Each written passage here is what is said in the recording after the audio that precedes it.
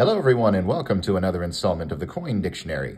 I'm WooWho, and today I've got for you this 10 centesimi coin from 1867 from Italy to talk about. We'll go over the history, the value, the basics, and any other pertinent information about this coin. So let's get started. On the obverse, we see the portrait of King Victor Emmanuel II, or as it says around the outer edge here, Vittorio Emanuele uh, II, Re d'Italia. As you can imagine, Victor Emmanuel II, King of Italy is what this says right here. This side was engraved by Giuseppe Ferraris, whose name uh, can be seen right down there. Turn this over to the other side. We see very simple design, 10 centesimi, 10 centesimi in the middle there, 1867, surrounded by a wreath.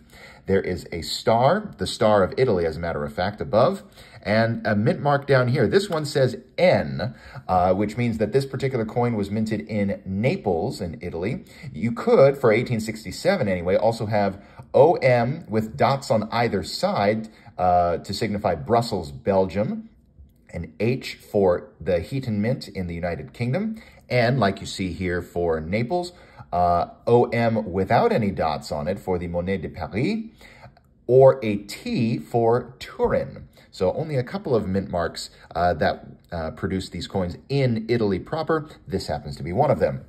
This is a bronze coin that weighs 10 grams, 30 millimeters in diameter, 1.5 millimeters thick with a smooth edge. Not that you can really tell through the flip here. Uh, and obviously you can't spend these anymore because these were uh, the old lira currency, uh, which was replaced by the euro in 2002. 1867N uh, has a mintage of 31,360,000 for circulation. Other mints, uh, well, the Heaton Mint had a mintage of 50 million. The Turin Mint had 18.64 million. Uh, and the others, we're not entirely sure how many of those were made. Uh, so it doesn't really have a significant effect on the value as far as uh, the grand scheme of things is concerned. On eBay, no matter what mint mark you're looking at, an 1867 10 centesimi will go for anywhere between $1.50 to about uh, 4 or $5 on average. And that is, of course, before any shipping costs are taken into account. Anyway, I hope that cleared up some information about this coin. And I'll see you next time when I've got another coin to talk about. I'll see you soon. Thanks for watching the video. My name's Christian and I own The Coin Dictionary and I'd also encourage you to visit us at our website, thecoindictionary.com and on Instagram at thecoindictionary.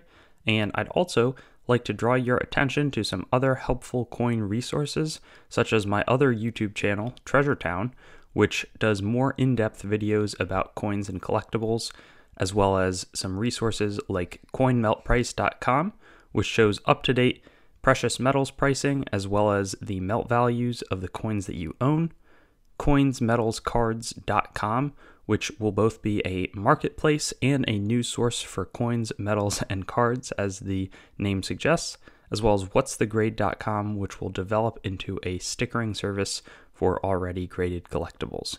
Have a great day, and I hope to see you on some of our other videos.